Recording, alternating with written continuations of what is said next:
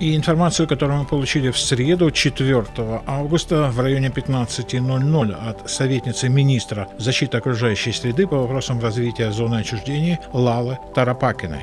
Уникальная выставка про Чернобыль уже на этой неделе переедет в Славутич, чтобы там стать частью нового общественного пространства. Почему так? Славутич развивается стремительными темпами, и постоянная выставка такого уровня его дополнительно усилит. Мы уже сможем приезжать туда, чтобы не только узнать о Чернобыле, но и открыть для себя классную новую локацию для путешествий. В Славутич можно приехать с семьей, с ребенком, причем любого возраста, а в Чернобыль только с 18. Вы можете спланировать путешествие, и в нем у вас будет все. И новые здания, и погружение в городское пространство, и памятник постмодернизма. Кроме того, в случае есть хорошая инфраструктура для путешествий, и отель, и классные рестораны, и магазин, и люди. Поздравляем славучан, и хотя Официальные бумаги еще не подписаны. Будем надеяться, что это замечательное креативное сооружение, одно из лучших выставочных экспонатов в Украине за последнее время, появится в нашем